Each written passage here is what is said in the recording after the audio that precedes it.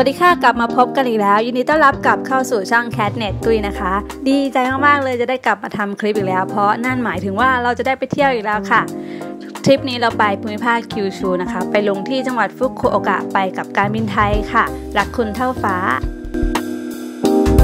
เมื่อมาถึงสนามบินฟุกุโอกะแล้วนะคะ ก็มี 2 ช้อยให้เลือกเพื่อเดินทางเข้าเมืองค่ะ เป็นรถไฟแล้วก็รถบัสราคาเท่ากันเลย 260 เยน เราเลือกรถไฟค่ะ เพราะว่ารถบัสคนแน่นมาก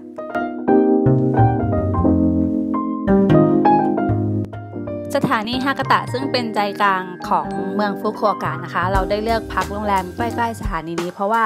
จะได้สะดวกกับการเดินทางโดยรถไฟค่ะ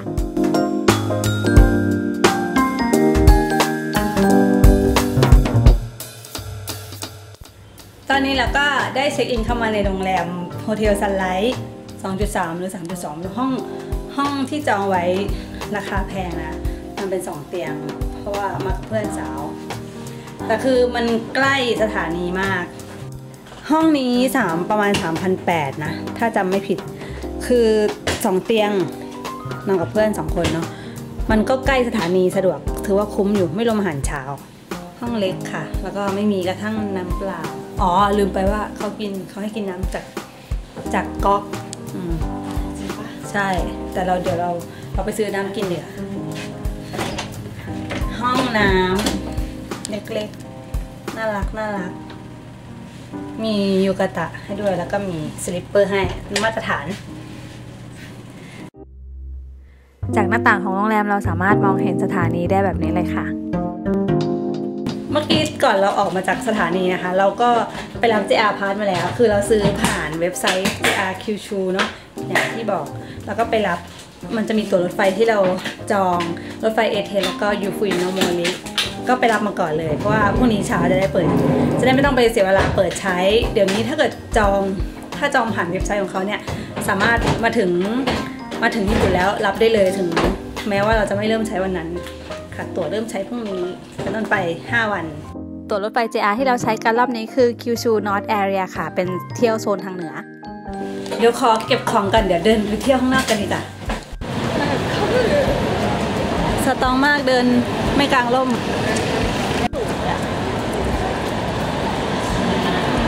เทศกาลจะสิ้นสุดวันที่ 15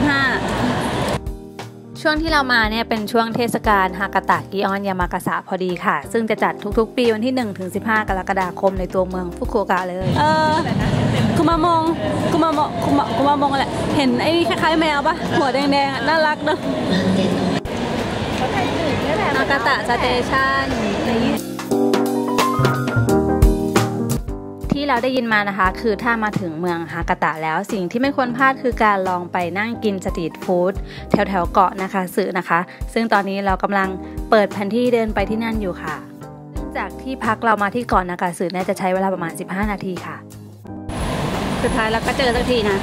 อยู่ด้านหน้าของเรานั่นเอง เดินวนรอบเกาะให้หิวเล่นๆ ถึงแล้วเออแต่บ้านหลังเอง เฮ้ยคลองเขาดูดีอยู่มาก ไม่ได้กลิ่นนะอืม เราจะมากินอาหารเย็นกันแถวๆนี้ดูเต็มทุกร้านเลยอะ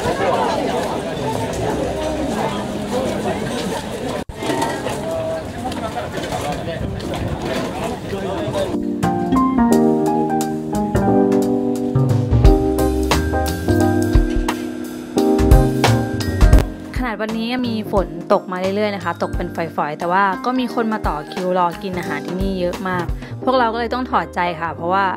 อยากนั่งกินแบบสบายๆ มื้อแรกที่มาถึงเนาะเมนูเครื่องดื่มของที่ร้านนะคะไม่ใส่น้ำแค่เดียวนะเออลองชิมก่อนใส่ใส่ไม่ให้เต็มเซตหนึ่งมันเสิร์ฟได้สองถึงสามแก้วเนาะยูใส่น้ำแข็งน้อยไง ชิมไงชิม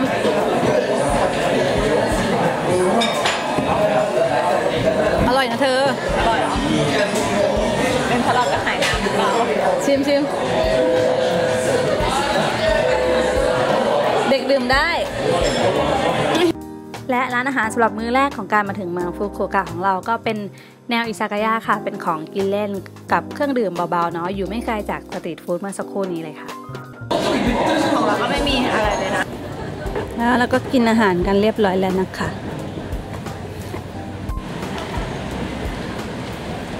คาเนลซิตี้เดี๋ยวเราจะมา วันท้ายๆซื้อของ คนตังมาเยอะมาก ข้างๆสถานีก็เป็นห้าง OI OI นี่สถานีใหญ่จริงอะไรจริง อืม โรงแรมเขามียูกะตะให้ใส่นอน คือไม่ต้องไม่ต้องเอาชุดนอนมา จะใส่ที่ถามว่ามันมีไหมจะใส่ชั้นในหรือไม่ใส่ก็แล้วแต่แล้วเขาลงมาคุมหน้าขึ้นมาบ้างไงก็อยู่ใต้ผ้าห่มไงเตียงค่อนข้างโอเคนะแต่เสียดายที่ห้องห้องมันมีกลิ่นบุหรี่ไปนิดนึงแต่ก็ ตอนที่จองอะ ห้องเนี้ยถูกที่สุดละมันก็ยังแบบใกล้สถานีสะดวกสถานีอยู่นี่เอง อากาศวันนี้ฝนตกฝอยๆตลอด พรุ่งนี้เราจะไปคุมาโมโตะเราจะไปขึ้นรถไฟ A-Train A-Train คือรถไฟเจ็ดดาวนะคะ ซึ่งตั๋วเนี่ยค่อนข้างจองยากแล้วช่วงเนี้ยช่วงหน้าฝน วันนี้วันอาทิตย์คนเยอะดิ ใช่ แต่จองไว้แล้ว สามารถ